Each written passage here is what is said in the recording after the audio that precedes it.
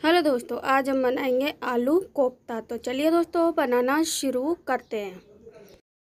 तो यहाँ लिया मैंने एक कटोरी बेसन। बेसन में डालेंगे अजवाइन,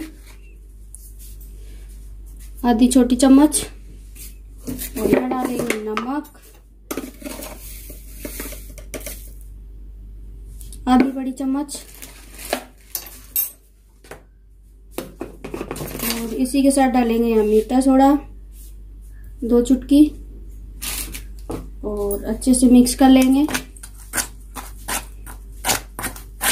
मीठा सोडा और अजवाइन और नमक मैंने अच्छे से मिक्स कर लिया। अब डालेंगे इसमें थोड़ा थोड़ा करके पानी।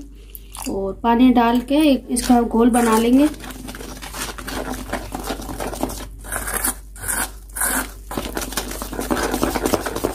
यहाँ बना लिया हमने बेसन का घोल इस तरीके का। अब इसको पाँच मिनट के लिए ढक के रखेंगे। और जब तक ये पाँच मिनट होते हैं, जब तक हम बना लेते हैं मसाला। तो मसाला बनाने के लिए यहाँ पे लिए मैंने तीन आलू और आलू को उबले हुए हैं आलू ये। और यहाँ लिए मैंने एक बड़ी प्याज और यहाँ लिया कटा हुआ धनिया। और यहाँ लिए मैंने हरी मिर्ची, जिसको मैंने बारीक बारीक काट लिया है। तो आलू मैंने फोड़ लिए और इसमें डाल दिए मैंने हरी मिर्ची। अब डालेंगे इसमें कटा हुआ हरा धनिया। और यहाँ डालेंगे प्याज बारीक कटी हुई। और अच्छे से मिक्स करेंगे।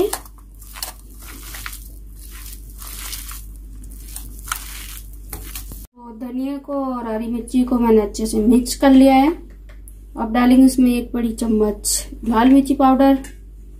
और यहाँ डालेंगे थोड़ी सी हल्दी और आधी छोटी चम्मच। और नमक लेंगे स्वाद अनुसार। यहाँ लेंगे चाट मसाला। और अच्छे से मिक्स कर लेंगे सारे मसालों को। तो मसाले मैंने सारे अच्छे से मिक्स कर लिए हैं और दो बना लिया है अच्छे से।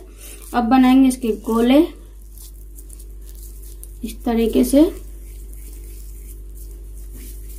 तो देखिए, ये बन के तैयार है। इस तरीके से हम सारे गोले बना लेंगे। दूसरा भी इसी तरीके से बना लेंगे हम।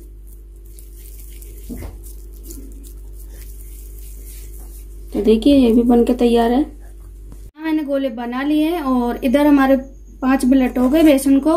अब गोल के अंदर इनको गोले को डालेंगे, फिर करेंगे फ्राई। मैंने गोले बना लिए हैं और इधर हमारे पाँच मिनट हो गए बेसन को।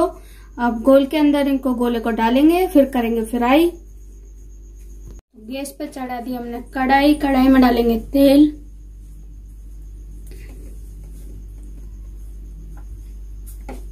तेल को अच्छे से गर्म होने देंगे तो तेल हमारा अच्छे से गर्म हो गया है। तो गोल हमारा थोड़ा पतला था तो हमने बेसन डाल के इसको गाढ़ा कर लिया है थोड़ा। और अब लेंगे आलू का गो, गोल और इसको डिप करेंगे इस तरीके से चारों तरफ़ से हम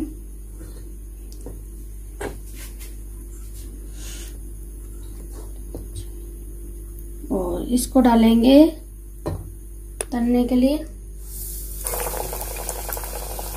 थोड़ा सा ऊपर से बेसन लगा देंगे हम। और इसी तरीके से दूसरा भी डालेंगे हम।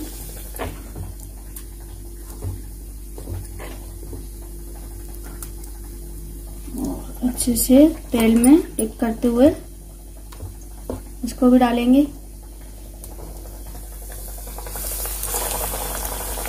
और इसी तरीके से हम सारे पकौड़े डाल देंगे इसमें, आलू के।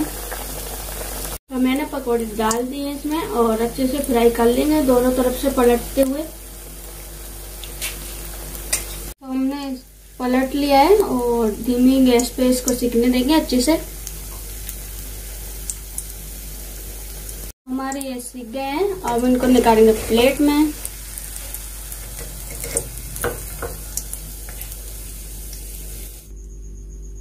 तो हम बाकी के भी तल लेंगे।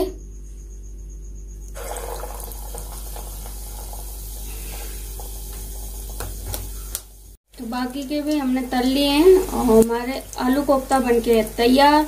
अगर आलू कोफ्ता पसंद आया हो तो वीडियो को लाइक करें, चैनल को सब्सक्राइब करें, बेल आइकन बटन दबाना ना भूलें। कमेंट बॉक्स में बताएँ कि आलू कोफ्ता कैसा लगा। तो अपने घर पे बनाइए, खाइए, आनंद उठाइए।